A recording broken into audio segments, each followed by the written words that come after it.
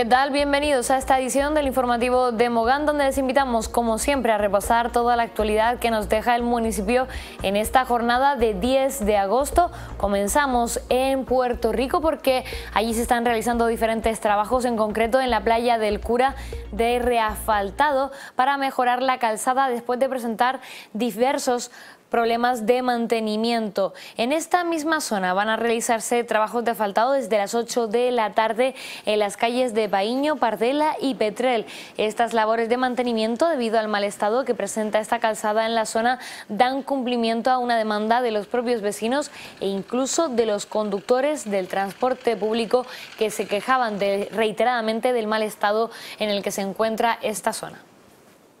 Y seguimos en Puerto Rico porque allí, en concreto en la desaladora, se están encontrando diversos problemas debido a una pieza en el mantenimiento de esta desaladora que están provocando diversos cortes en el suministro de agua, viéndose afectado sobre todo en los vecinos de Motor Grande. El fallo se ha detectado en una pieza que llegará la próxima semana, por lo que hasta la fecha seguirán produciendo estos cortes y para más información pueden consultar las redes sociales del ayuntamiento que están manteniendo toda la última hora con respecto a estos cortes en el suministro de agua.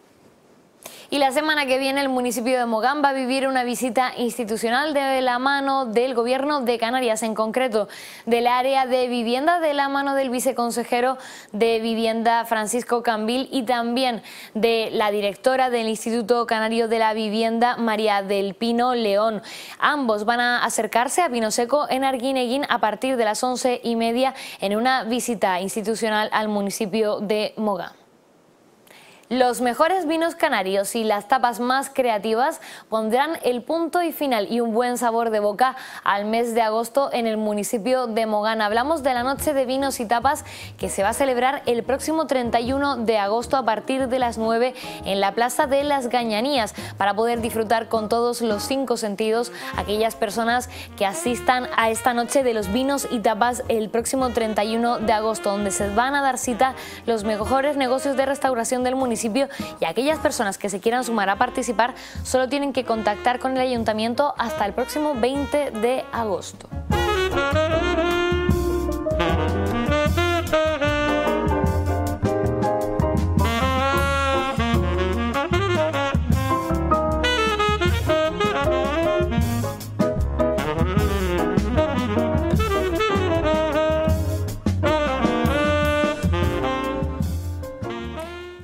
Cree que usted podría superar una prueba de más de 21 kilómetros? Pues solo tiene que apuntarse a la tercera edición de la Veneguera Trail que desde hoy está abierto el plazo de inscripción para todos los participantes que se encuentren interesados en esta carrera que se va a celebrar con modificaciones en el trazado y un aumento de los kilómetros para una prueba superior. Para aquellos participantes que quieran aumentar la categoría nos ofrece más detalles el organizador Geray Ramos.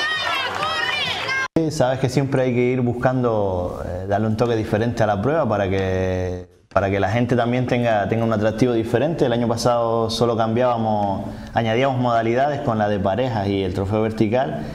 Y ya este año hemos tenido más tiempo para, para sacar una nueva distancia de, 21 kilómetros, que, que, es novedosa porque por ahí creo que, que hasta ahora hay caminos, pero no son transitados y, creemos que, es un atractivo más, eh, aparte de, subir kilómetros, que muchos también lo agradecen. Y la de 16 kilómetros que teníamos antes, que era la distancia más larga, ahora se queda en 15 porque tienen que tener en cuenta los que vayan a correr, importante, que este año no se baja hasta el barranco de Mogán y se sube, que a muchos les parecía esa cuesta bastante dura, pues ya la quitamos y, y el que quiera correr más kilómetros y tener más desnivel, pues se pasa a la de 21 directamente. Que, se inscriban, el que ya ha corrido eh, y le gustó la experiencia, que, repita, y el que no ha corrido y quiere vivir una, experiencia en, el barrio de Beneguera, también que aproveche la oportunidad y no deje de, vivirlo. Hmm. Así que ya lo saben, a partir de hoy ya está abierto ese plazo de inscripciones para la tercera edición de la Veneguera Trail. Nosotros vamos ya con otros asuntos. En el ámbito autonómico parece que hay un principio de acuerdo entre las asociaciones de municipios turísticos de Canarias y el gobierno autonómico. Ayer se comunicaba este principio de acuerdo tras una reunión que han mantenido el Ejecutivo Autonómico en la que se ha ofrecido a la asociación incorporar a la imagen global del stand de Canarias el espacio espacio de trabajo del colectivo de municipios turísticos del archipiélago, generando así un espacio destinado a reuniones y presentaciones para la propia Asociación de Municipios Turísticos de Canarias, que en las últimas ediciones de FITUR ha ido por separado. Y no nos alejamos del turismo porque hasta cuatro vuelos se han cancelado hoy en Canarias tras esa huelga convocada por la compañía aérea Ryanair, en concreto convocada por los pilotos que están manteniendo los trabajadores de la compañía aérea esta huelga para protestar contra las condiciones laborales de la compañía. Los trabajadores holandeses, después de que la empresa se los intentara impedir por la vía judicial, han confirmado que también se unen a las movilizaciones. Debido a los paros, Ryanair ha cancelado alrededor de 400 vuelos a la espera de conocer los trayectos que se suspendan en Holanda que salen con conexión a estos países europeos, lo que ha afectado a más de 70.000 pasajeros. Y en Canarias en concreto han sido cuatro los vuelos que se han visto afectados por esta huelga de los trabajadores de la compañía de bajo coste. Nosotros vamos ya a consultar la previsión meteorológica para mañana.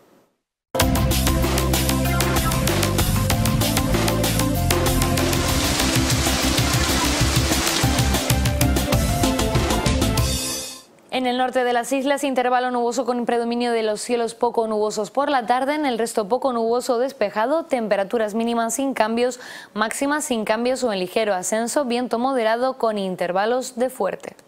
y en Gran Canaria, en el norte, por debajo de 800 a 900 metros, intervalos nubosos con predominio de los cielos nubosos durante la primera mitad del día y de los poco nubosos por la tarde. En el resto de zonas, poco nuboso despejado, temperaturas mínimas con pocos cambios, máximas en ligero ascenso. Y la predicción meteorológica para este sábado 11 de agosto en el municipio de Mogán nos deja temperaturas mínimas de 18 grados, máximas de 28 grados. Los cielos estarán algo nublados a lo largo de toda la jornada, pero no habrá probabilidad de precipitaciones.